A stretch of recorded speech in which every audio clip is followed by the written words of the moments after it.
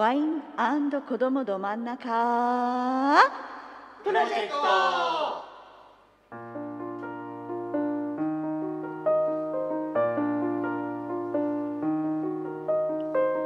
この番組は「忍ぶ心を形に」心の葬儀社株式会社日本天霊と小学生中学生高校生のための不登校のお子さんの安心の居場所。江東区亀戸にあるフリースクールアスパルと放課後等デイサービスの業務をスマホで効率化。株式会社ユーゴワークスの3社の提供でお送りいたします。ワインさんリスナーの皆さんこんにちは。毎週火曜日の午後6時よりお送りいたしております。ワイン子供ど真ん中プロジェクト。この番組は千住から世界に発信シーウェーブからお送りいたしております。この番組へのご意見ご要望ワインさんへの歌のリクエストをお待ちしております。千住アットマークシーウェーブドット JP こちらのメールアドレスにお送りください。最初にワイン子どもど真ん中プロジェクトと宛名をご記入いただきますと助かります。メールをお待ちしております。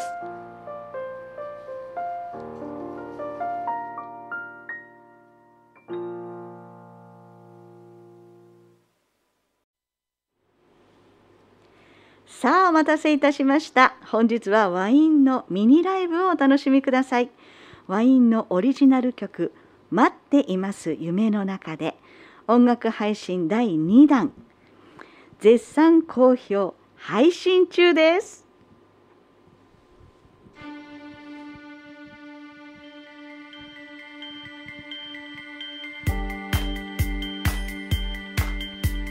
夢にくれた。ずっと待っていたわ。ずいぶん会えなかったから。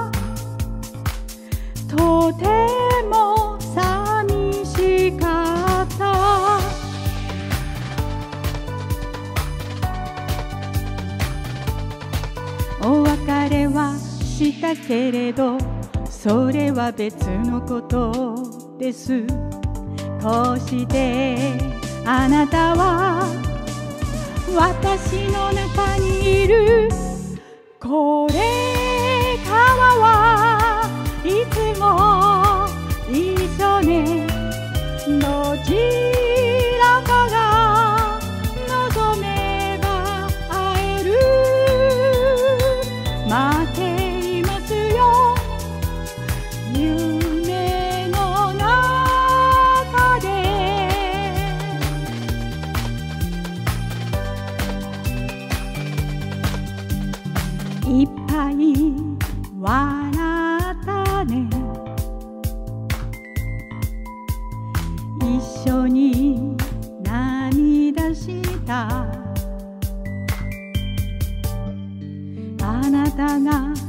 いてくれたから。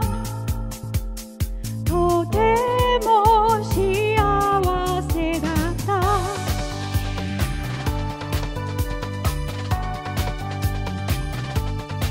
お別れはしたけれどそれは別のことです。こうしてあなたは私の中にいる。これからはいつも一緒ね。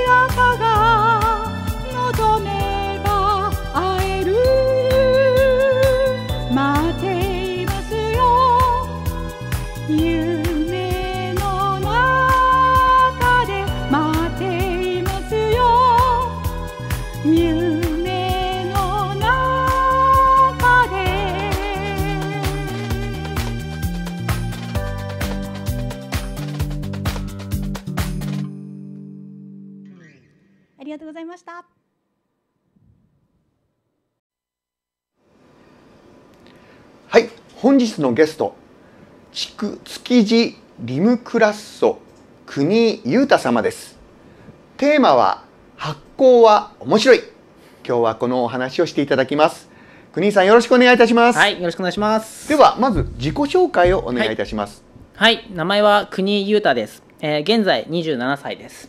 えー紹介にもあった通り、今は築地にある自然野菜専門店のリムクラソというところで働いてます。で、週に1回、水曜日、北千住にある子育てシェアハウスコトカっていうところで、えー発酵をテーマにしたランチを、えー作ってます。で9月あそのコトカの方は8月で閉店してしまうんですけど9月の方からは、まあ、銀座1丁目の方に新しくオープンするビーガンのカフェに勤めることにもなってます。はいよろしくお願いします。よろしくお願いします。あのビーガンのカフェって何ですか、あビーガンっていうのはあの肉と魚などの動物性の食品を一切取らない人のことを言います。なのでそういう方たちに対応したメニューを出すカフェということになりますね。わかりました。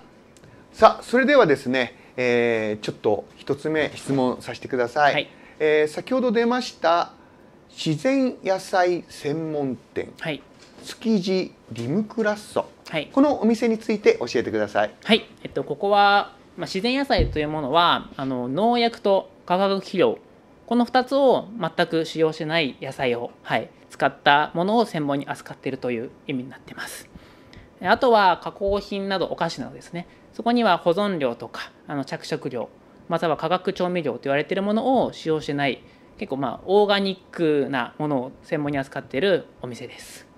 なんか体に良さそうですね。ああそうです。お客さん層としてもやっぱりこうお子さんが生まれて食に気を使うようになったお母さんとか。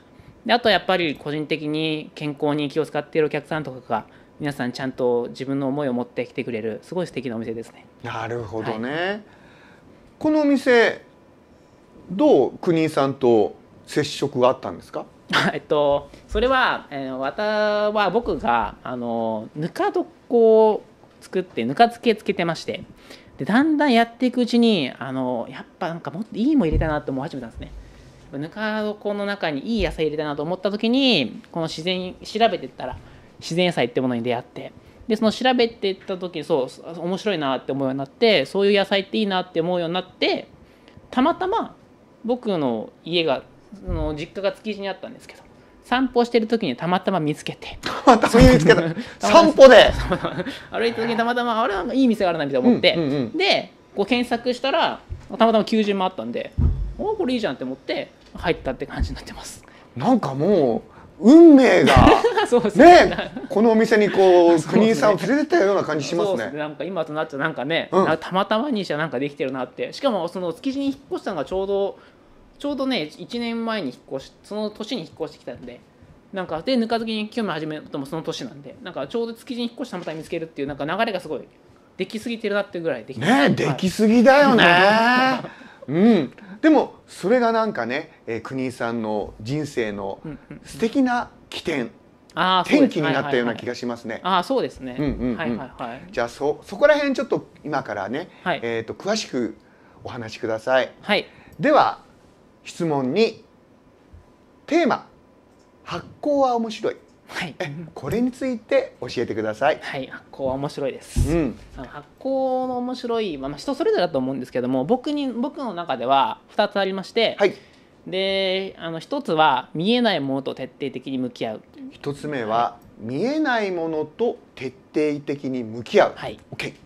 で2つ目はあの分解っていうところです二つ目は分解。はいじゃあ一つ一つ詳しく説明していただいていいですか？はいじゃあ一つ目の見えないものに徹底的に向き合う。はいお願いします。はいまずこれを思ったのはまず発酵に興味を持つきっかけがはい。「発酵文化人類学」っていう本を読んだ時なんですね発酵文化人類学。はいはい。でその本は発酵っていうものを文化的な視点でだから発酵っていうものが発酵食品とかがか結構いろんな各地にあるんですけど、はい。それの生まれた歴史とか土地柄とかそういう文化的な視点で歴史をすごく語って発酵ってこうやって生まれたんだよっていうのを説明してくれる本なんですね。でその中に、うん。その一つ一つのなんか蔵とかはい。お酒作ってる蔵とか、うんうんうん。醤油作ってるところとかの一個一個の店にフォーカスを当ててでその職人さんとかの生活とか何を考えてるかっていうのを紹介する、まあ、欄っていうかそう目次があったんですね。はい。でそこに出てきた人の中でなんか金が呼んでるぞって言ってる人がいたんですよ。金が呼んでるぞ？怪しいねそれ。どういうこと？意味が分かんなくてわかんないよね。何言ってんだろうなと思って、うんうんうん。なんですけどその、やり続けなんかやっぱ作り続けてると、うんうん。なんか感じるらしいんですよ。感じる。うん。でも確かに、だって金って実際確かに空気中にいるなっていうのは僕もあの授業あの勉強して知ってるんで確かにいる。で何かそれを感じてるなんかあるのかなとかうん。でもあ本当かなとか思いながら半信半疑だったんですけど、でもなんか面白そうだなずっとそれを思っててだからなんか自分でもそういったものを作れば感じれるかなって思い始めてなるほど。そうですうんうんうんうんうん。で最初にぬか漬けを始めたんですね。なるほど。そうです。でまあ最初にぬか漬けを始めたんですけどまあまずいまずい。まずい。美味しくない。美味しくない。いやでもぬか漬け初めて食べた人は多分みんな思うと思うんですけど、うん。酸っぱいし、うん。なんか苦いかそうなんか匂いも強いし、うんうんうん。美味しくないんですよね。美味しくなかった。ですよ。でも、うんうんうん。そう。でも辛かったですね食べるの正直最初は。はい。だけどなんかそのやっぱその職人さんが言うようにやり続けてると変わるかもなって思いを持ちながら、はい。まあ先生と混ぜてたわけです毎日毎日。で毎日ぬかの状態とかもまあ見てるんですけど。はい。でなんかでもやり続けた1ヶ月くらいですかね。なんかねあるいなんかある日いきなりあれ美味しいかもって思い始めて。そうそうそう。ある日いきなり美味しいかも。なんか美味しいかもって思い始めたうんんですよ、でそこであれ面白い。これ僕変わってんのかなってうん。思い始めたんですね、はい。そうそこででもでもちゃんとその時はそこでただ美味しいって思って面白いって思ったんですけど、はい。ちゃんと今振り返って考えてみると、うん。なんでかなって思った時に、うん。やっぱ多分僕がやり続けたからなんうんうんですよ。うん。でそれはその僕がやり続けてることで多分そのぬか床に愛着が湧いたりとかで実際毎日一応ぬかとかも食べてたので、はい。毎日味が変わってことは実際わかるんですなるほど。ででも見た目は確かに全く変わってないんですよ、でも確かに変わってってるってことはうん。それは確かに絶対な菌が多分入ってきてこれは変えてんなって。でそいつらと徹底的に向き合ったおかげで多分なんか自分にしかわからないその変化とかうん。そういうものを愛おしく思い多分始めてなるほど。そういった最初のまずいなっていうなんか固定概念がなんか剥がされた時に何か感じたものがあったんですよ。なるほど。そこを知った時にわ面白いなってすごく思いました。うんうんうん。で多分あ一応僕その時は実家暮らしだったんで家族もいたんですけど家族はそんなにやっぱぬか漬け美味しいって思わない、うんうん。それは家族僕の一緒にいた家族は混ぜてないからでうんうん。やっぱそこの差ですよね、うんうん。やってる人やってない人。であとむそこに向き合ってるかどうかみたいな、うんその向き合った人にしかわからない見た目じゃわからない、うん。人が一番ね、うん。あのーすごいあ認識に一番使う視覚じゃわからないその何かっていうものを感じれた瞬間が発酵面白いなって思うところ。なるほど。多分今発酵が好きでやってる人はみんな多分その感覚を持ってると思うんですけど、うんうんうんうん。向き合い続けてる子で感じられる変化っていうのは、うん。発酵をやる人じゃなきゃわからない醍醐味なのかなって思います。なるほどね、では二つ目。はい。分解について教えてください。はい。えっと、分解っていうのまず分解説明する前に発酵っていうものがどういうものかっていうのをちゃんと定義しておくとはい。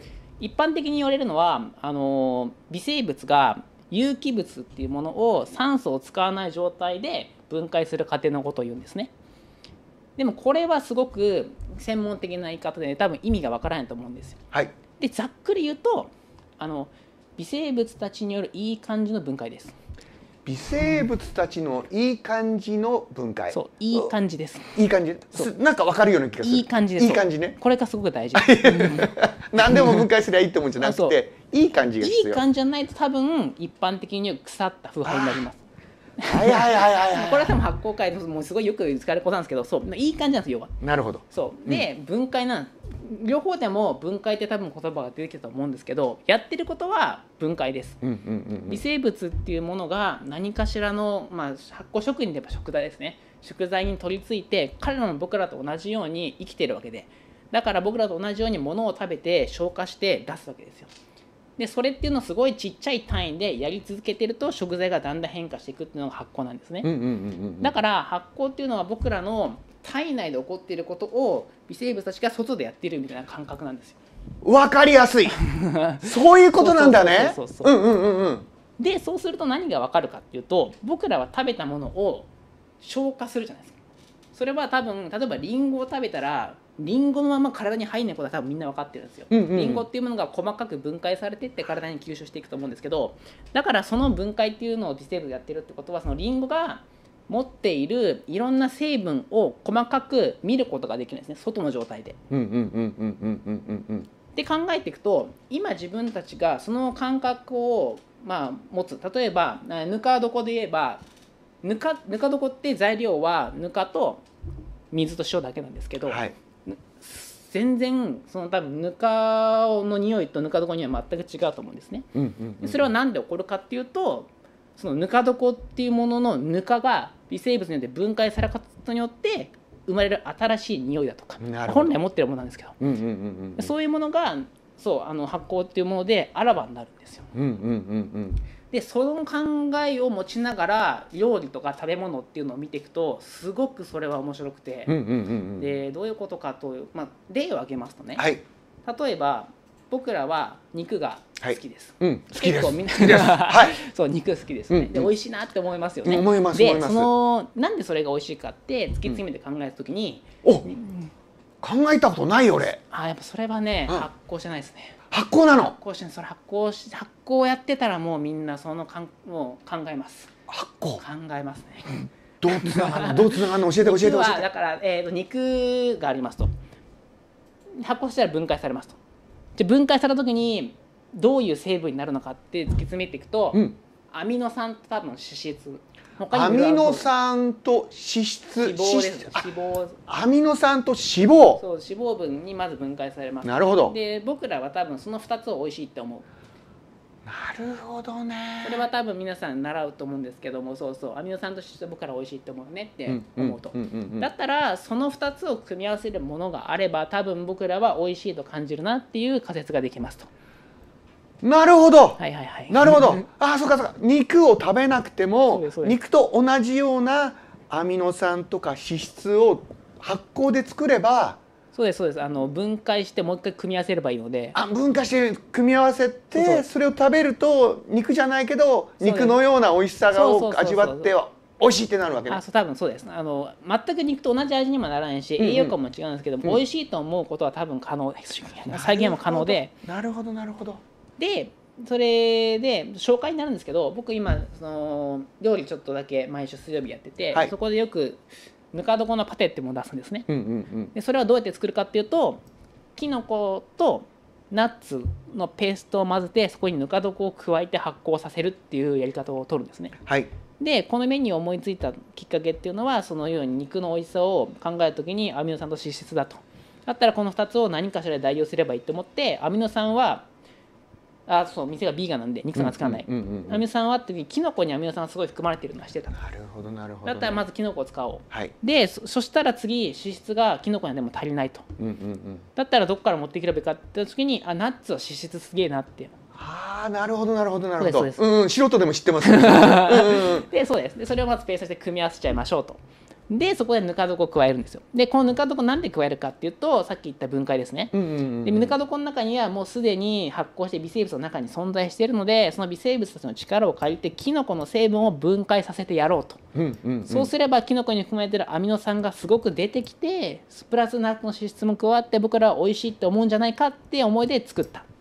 なるほどね発酵面白いよ。すげえ面白いよ。ありがとうございます。ね。じゃあもうねもうしょうがない。またねこれね続き話聞くとしてえーっとあれだ、えー、築地リムクラストさん、はいはい。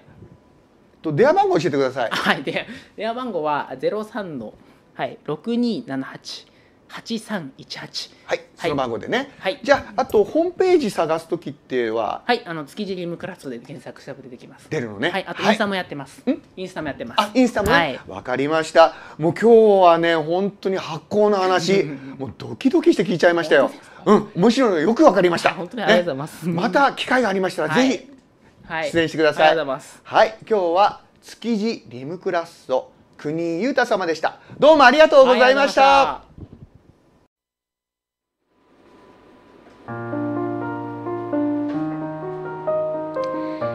それではインフォメーションのコーナーに移ります。まず最初は株式会社日本典礼からのインフォメーションです。葬儀のことで悩んでいませんか？日本典礼では明確な費用の提示。親身に丁寧で分かりやすい説明。そして日本天霊の会館使用料は無料とするなど安心してご依頼いただける葬儀会社です。葬儀のことで悩む前にぜひ一度足立区矢沢家の日本天霊にお越しください。日本天霊からのご提案です。葬儀の生前見積もりを取ってみませんか？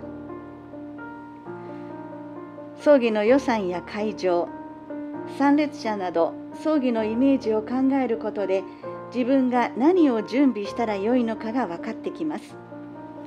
足立区矢沢家の日本天霊までお電話お待ちしております。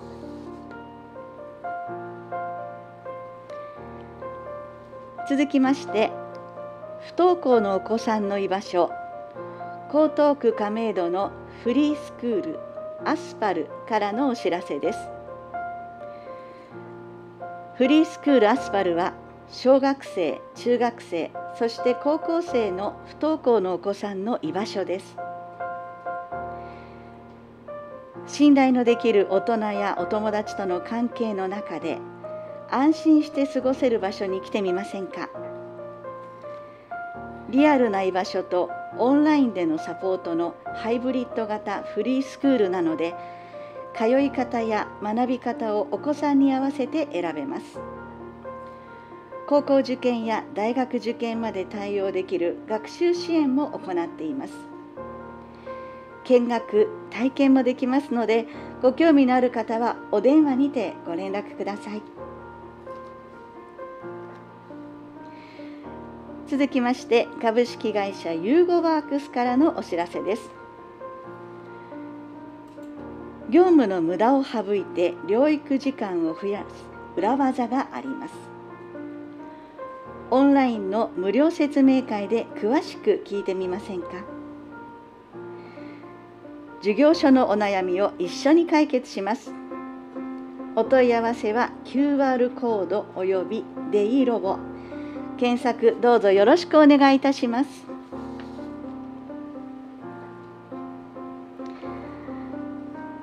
最後にワインからのお知らせです。まずは音楽配信サービスのお知らせ。ワイン新曲配信第1弾。世界で一番の男に。配信第2弾。待っています。夢の中で。絶賛好評配信中です。各種音楽配信サービスでご視聴ください。画面上の QR コードからも検索できます。次にワインの CD のお知らせ。ワインの CD はコンサートおよびイベント会場でご購入いただけます。そしてワイン Facebook のお知らせ。毎日更新していますのでぜひご覧いただけると嬉しいです。詳しくはワインのホームページをご覧ください。漢字で和音ひらがなでワイン並べて記載和音ワイン検索どうぞよろしくお願いいたします。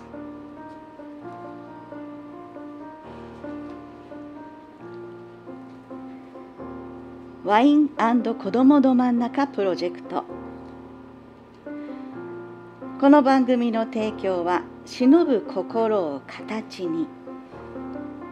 心の葬儀社株式会社日本天霊と小学生中学生高校生のための不登校のお子さんの安心の居場所。江東区亀戸にあるフリースクールアスパルト。児童発達放課後等デイサービス支援ツール。デイロボ。株式会社ユーゴワークスの3社でお送りいたしました。それでは来週火曜日午後6時18時にお会いしましょう。次回までお元気で。さようなら。